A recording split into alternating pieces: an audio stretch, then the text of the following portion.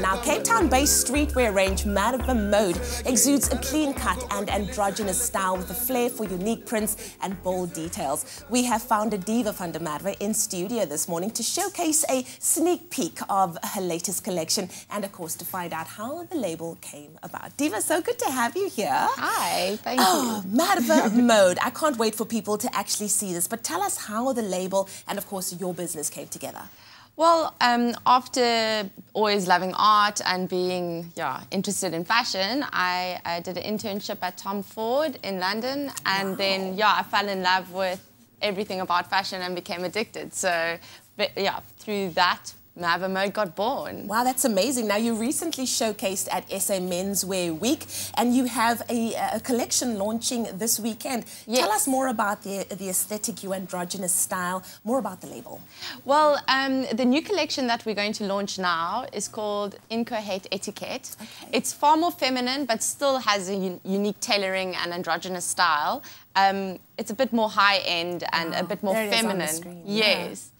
Um, we're launching at our store in Melville. Um, it's called Convoy, and um, it's at the Bamboo Center. So mm -hmm. everyone must come and check it out this weekend.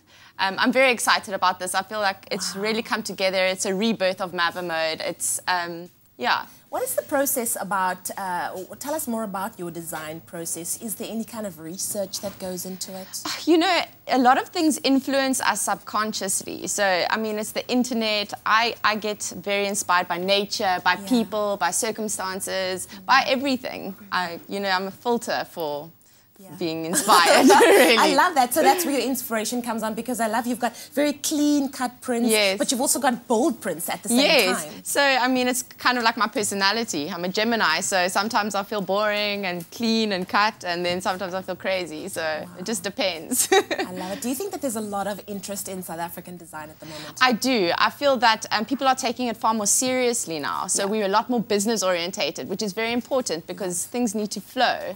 Um, yes yes, it's very impressive what's happening around us here. And exciting times for you that's ahead. What is up next for Merwe Mode? We're going to be showcasing at SA Men's Fashion Week in July, Yay! which is also going to be very exciting. Nice. Um, and then, yeah, the launch this weekend and from there we just grow hopefully wow. oh local is so lekker it's such an exciting time for south africa not only in terms of our music but our content on tv and now of course in terms of the fashion as well yes. thank you so much Deeva for joining thank us Thank you you are welcome back anytime and you can leave some of those garments here girl because i can use some of it in my wardrobe just saying thank you so much uh, can I can I give send a shout out? Absolutely. To all the lovely ladies, it's Mackie, Carol, Bridget, Aww. Ursula, Charmaine, Nolo, and Carol. Lovely. Okay. Oh, wonderful shout out on your Feel Good Breakfast Show. This Africa Dag Julle. You and we're celebrating big on your Feel Good Breakfast Show.